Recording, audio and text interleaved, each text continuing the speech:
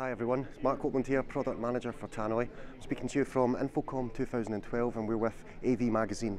I'd like to introduce a new range of passive subwoofers that we've launched exclusively at the show, known as VSX series.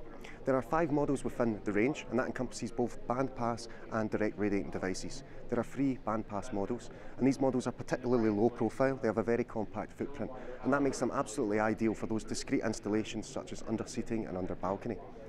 On the bandpass models, we've also introduced what we call EMT, which stands for Excursion Management Technology. And this is a number of benefits for the end user and also added value.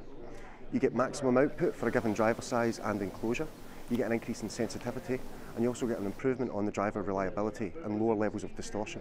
But crucially, you still get that fast and punchy bass that's not always evident in other bandpass devices. These products are also suitable for portable PA applications, so they have intergrip handles and we also have a pole mount there, so you can couple them with VX or VLS. If you want to know any more about these subs, then go to our website at www.tannoy.com and thanks very much.